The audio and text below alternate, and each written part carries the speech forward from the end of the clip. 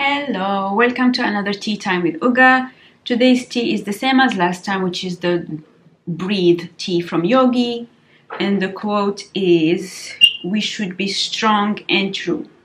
Okay, so today I wanted to talk about my investments, how I invest, what I consider worth investing in.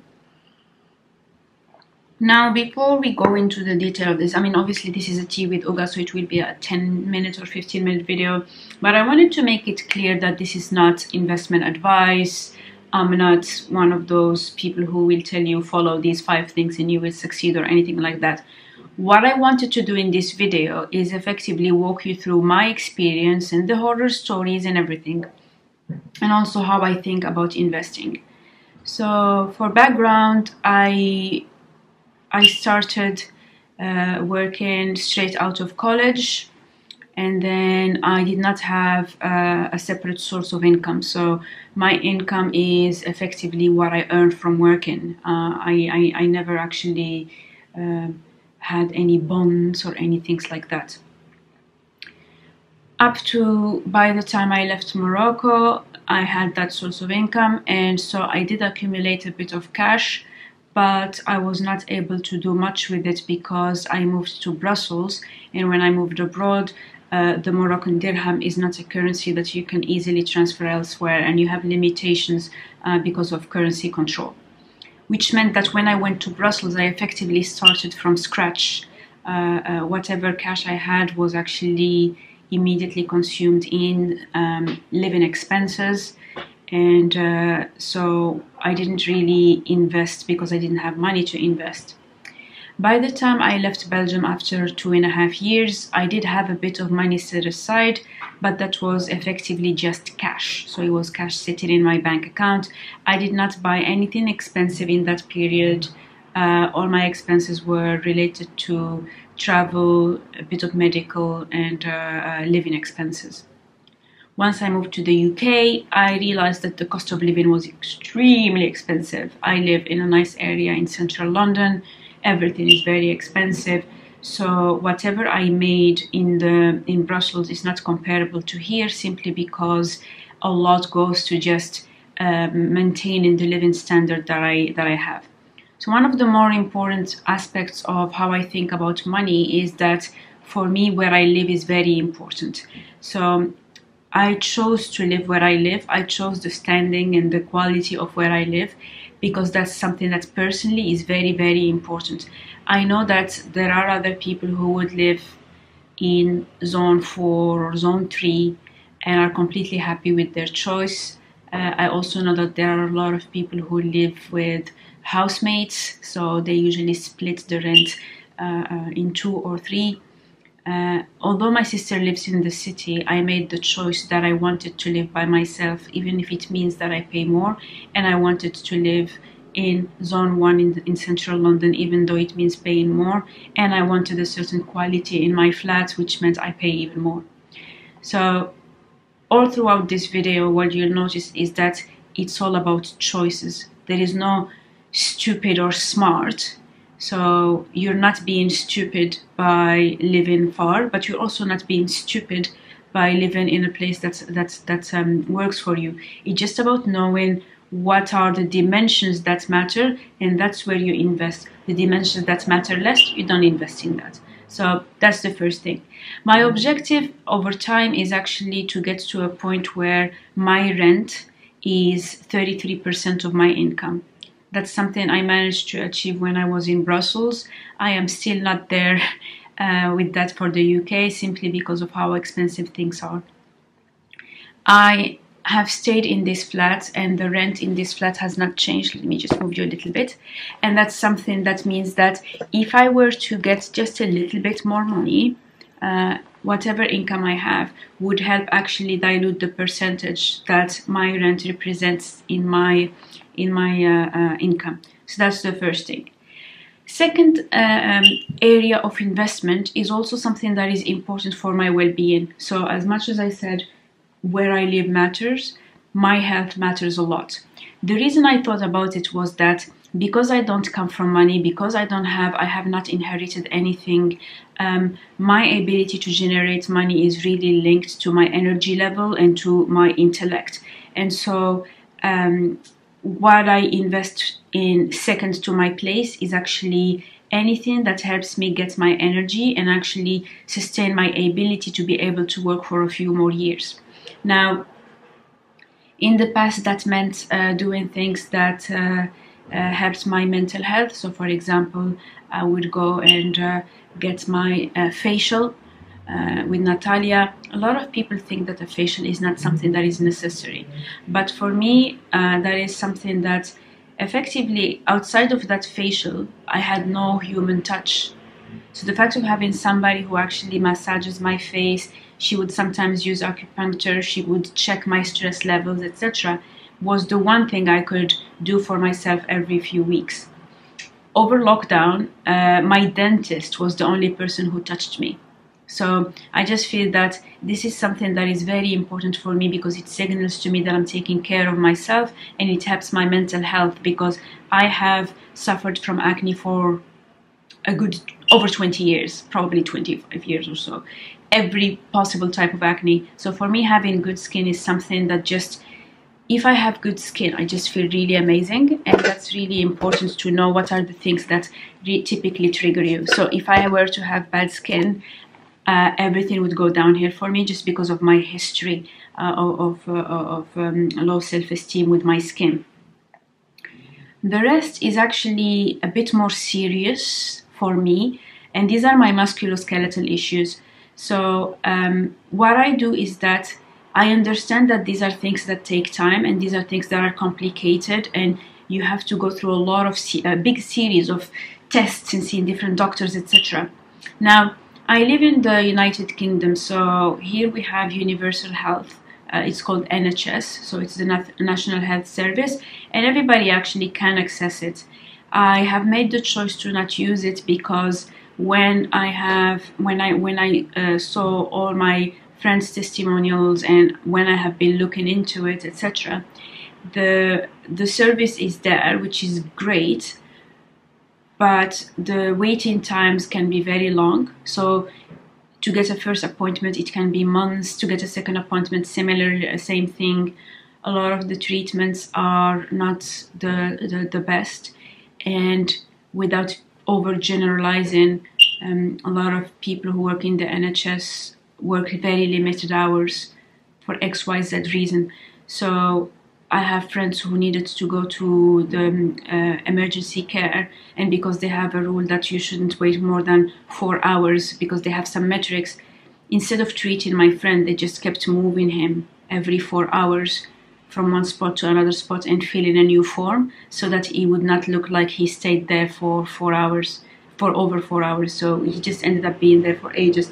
Same thing happened to his brother, also ended up in the emergency room for. Um, the whole night until his father came and you know um, so a lot of these things uh, i've been really doing my research and i've seen how there is so much pressure because of the inefficiencies despite all the money that goes in there so while i do pay my taxes i pay my national insurance i pay a surtax because um, uh, all the foreigners who come in um, have to pay something called NHS surcharge, which is a few hundred pounds a year assuming that that you will be using NHS.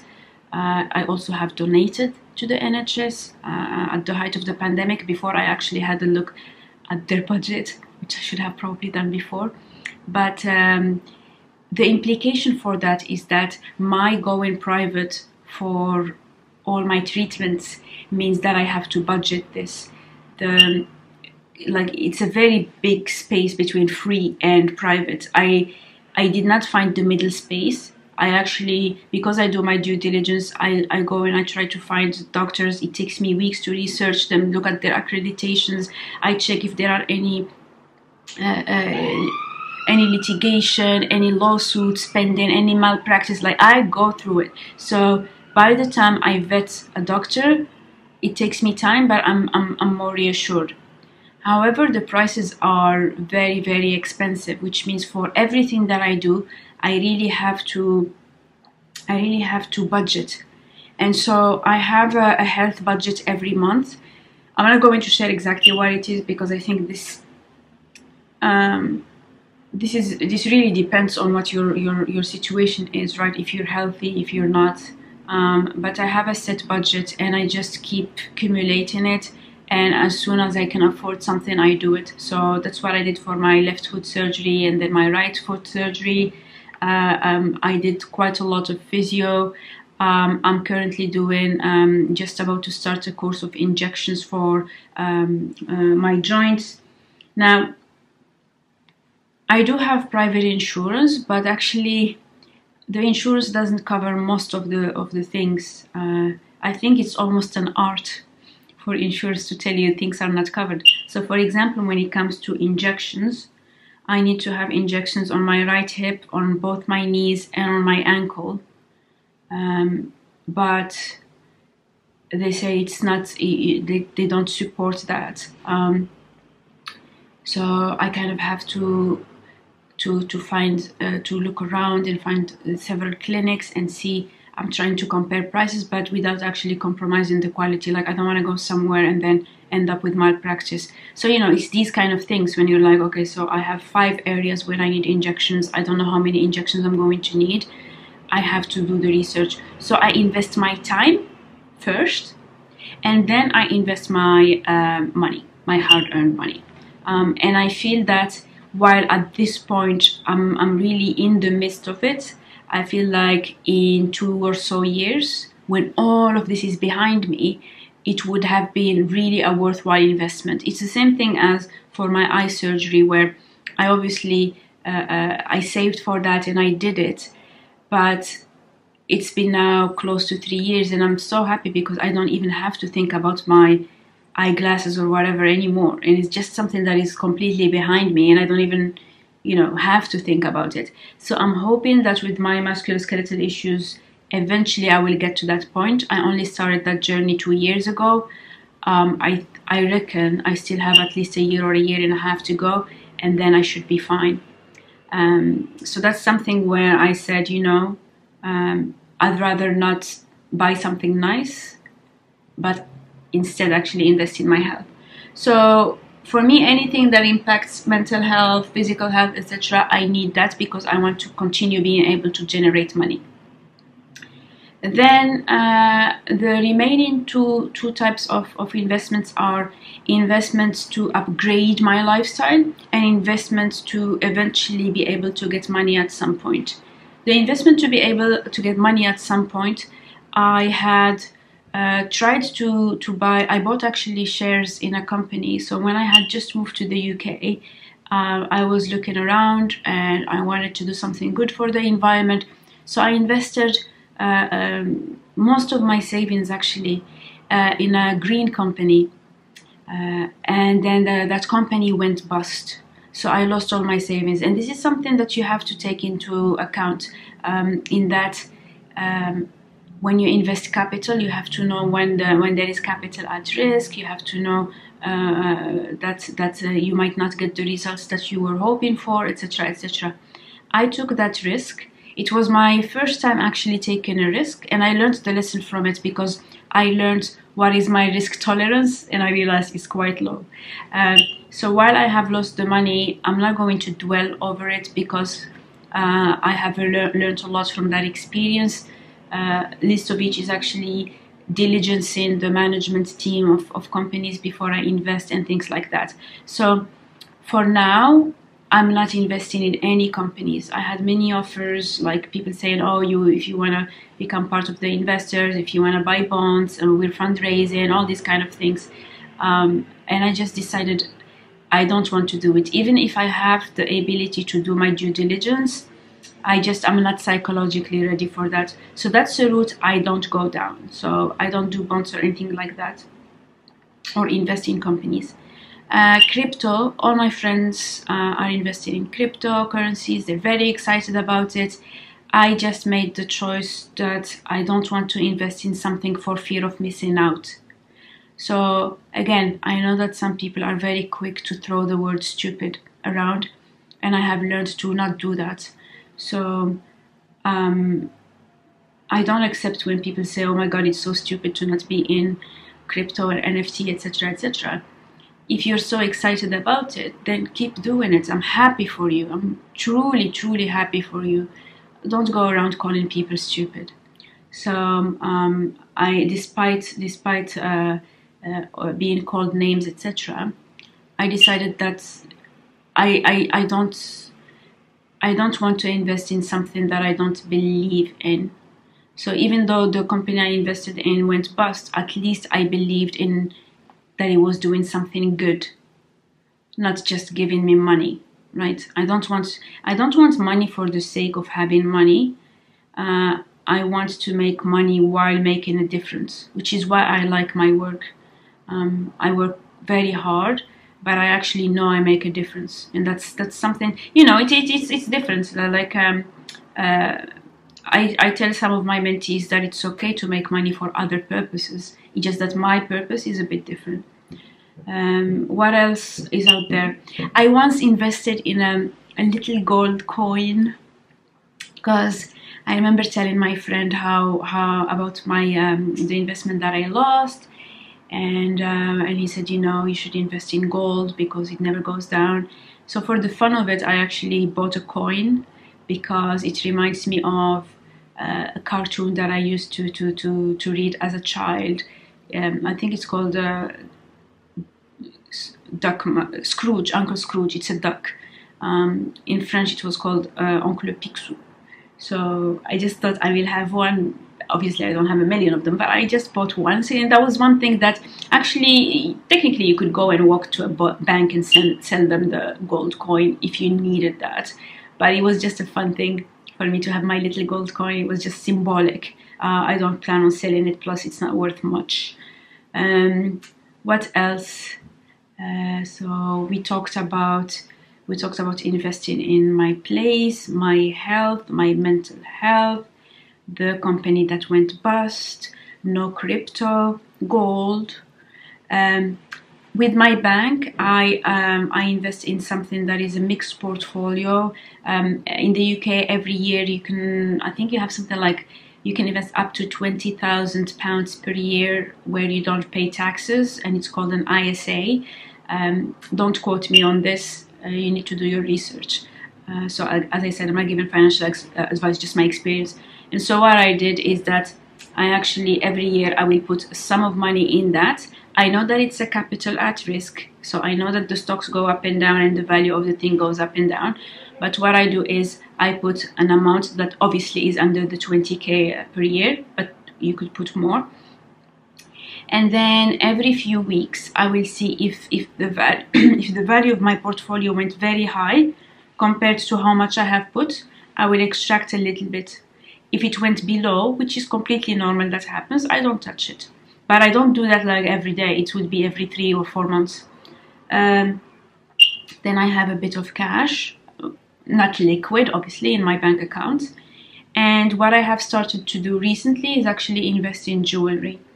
Investing in jewelry is something that ticks a lot of boxes. So first of all, it makes me feel really good. I absolutely love the feel of gold on my on my hands, and um, a lot of these things have a story. So like this little panther is called Phoebus, and I have a very detailed story on why it's called this. And every time I look at him, I know it makes me feel invincible.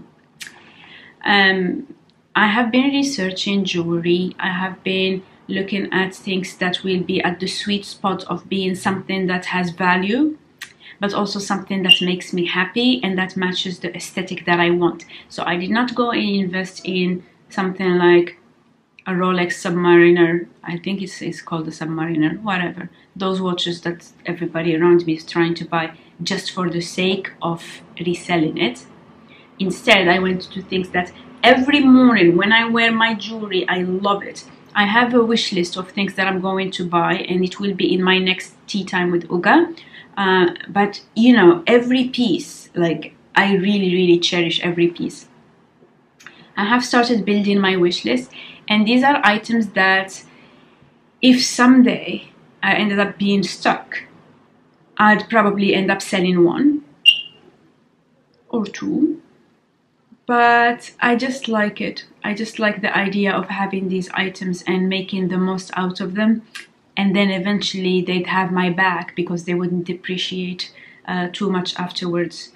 Um, so that's jewelry. And I'm starting to get into watches, and there is a watch that I absolutely love. It's actually not one of those watches that appreciate in the aftermarket, so it's not like the Rolex and Patek, etc., etc. But you will see that in my wish list. Um, if I get it in a few months, uh, it will be a very nice addition to the one that I have currently. Um, and then the last bit of investment that I'm doing is actually in education. And not education in the sense of doing online classes and all that, but it's effectively I have reached a stage where I am very senior, uh, where I am uh, uh, I'm getting my own clients. I get to like um, two week two two weeks ago, for the first time, I actually signed a proposal letter. Normally, it's in my line of work and in consulting. It's you only do that at partner level, but the partner I work with is is is really gracious, and he said, "This is your client." So I want you to also sign the letter. And that was a very big moment for me. And so I am upgrading a lot of things around that in the sense that my wardrobe is going towards that, my lifestyle is going towards that, but also um, I am I'm reading books. They should not be business books. It should be anything because you need to be able to talk to somebody at a dinner table without having to talk about work. So I have I'm past the stage of reading business books. I just read about anything. Um, something I recently read was about um, a commentary on institutionalism uh, in the US. Um, I have been looking at things around um, uh, the fall of the USSR. Today, I was watching part of a documentary about the money of the Nazis, how they actually, how did they find money to fund all that war when they were not supposed to, to, to have an army. Um, I'm looking at random documentaries because right now it's easier for me than to read. Uh, but it doesn't matter what the topic is. The other day I watched a five minute documentary on Japanese knives.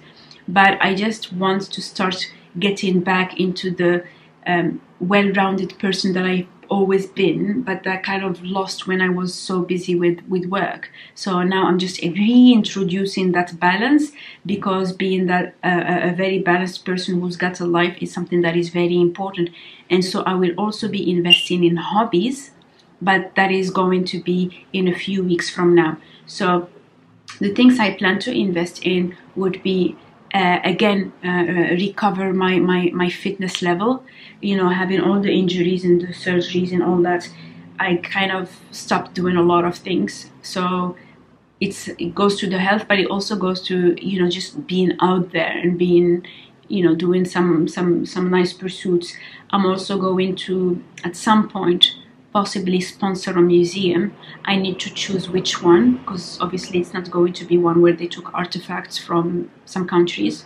Um, so it will have to be a museum where I'm very happy about the provenance of things, but you know where I feel that I contribute to people learning um, about things.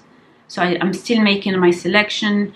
Um, I'm also investing in charity work I'm not going to comment further than this, but it's just something that I've done a lot of, um, let's say, extra professional work all my life.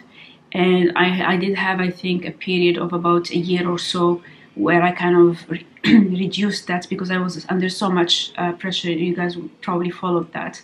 Um, but over the past few months, I just started again doing all my volunteer work and um, you know, uh, continuing the things that I've been doing since I was uh, in college. So that kind of helped me regain some of my personality because these these things were part of who I am. And uh, while I don't necessarily talk about it much, I just feel that just the knowledge that this is something that I do is is it really makes me happy. And obviously, I have my channel. Um, there was a time where I was thinking, why am I even doing this channel? And I realized that it's actually a good thing because I am a very introspective person, and by talking through my thought process, it helps me think. So by doing these videos, I'm also clearing ideas in my head, and I also am putting the word out there because I, I, I love seeing that. I love seeing um, how I'm progressing and how I'm evolving in life. And even just you know my little flat, you've you've you've seen this uh, me in my flat for over three years now, and it keeps evolving little by little. And so next week I'm going to post a video of my massive, massive, massive uh, haul for January. It's it's the biggest I've ever done because I've been buying things, and it's small little things that are going towards that whole upgrading my lifestyle, making my life easier, looking after my health, uh, just feeling a bit more grown up, more senior, more put together. So I'm really looking forward to what is coming my way and um, yeah, exciting times, exciting times. So as you can see, I don't really have uh, an, a worksheet or like an Excel table with what I'm going to invest in, etc. It's really about convictions and it's really about making the space for it. So uh, at this point, it's about making sure that I invest in something that will accrue value in the future. This happens to be my well being and my ability to generate money. In two years down the road, I think it will be completely different because hopefully inshallah i would have fixed a lot of the things that i've been struggling with and um, i'm not complaining because i know that there are a lot of people who have worse diagnoses etc but um, it is it is quite daunting because um, I, I'm, I'm, I'm not getting into the details of the medical stuff but it's just it's a, um, um, a degenerative thing. It's it's not arthritic but it's just a it's good that I caught it now and that I'm able to actually act on it and stop things and effect changes in my life because if I had just carried on, I would have lost a lot of my mobility. And that thought is something that puts things back into perspective. It's not a near death experience, not nothing like that, but just the thinking that maybe if I had waited a few more months, I wouldn't have been able to walk properly on my right side is something that makes you think. Um, so I'm glad I, I've been investing in that it's very difficult. There are times where I'm thinking, oh, I could do this, I could do that. And then I say, no, I'd rather not. Uh, so I'm trying to have that balance of making myself happy uh, and at the same time investing in my future. So it's a very, it's a very delicate uh, thing of being present and at the same time looking forward to the future. That is it for today. Relatively long video. I think it's going to be around the 20 minutes. So sorry about that. Uh, next video is going to be my massive haul and the following one is going to be my beautiful investment wish list. It, it will be worth the watch because I have a few gems in there. Um, I do have a bit of an eclectic taste so it might not it's not the most fashionable thing but I love every item. I'm going to start writing it down in the next couple days just to make sure that I download the pictures and I can put them in the videos because I don't know if you noticed I started trying to put pictures because I feel that it prevents me from just talking at you and you having to Google stuff to see what it looks like. So yeah, uh, let me know if you have learned anything about the dimensions that matter the most for you to invest in. Um, I'd love to have a conversation going in the comments because I am fully aware that this is not the traditional investment kind of video some people would have expected, but it's more personal and I think it's good to tailor it to yourself. Alright, I'll go now and I'll see you soon on my channel. Take care.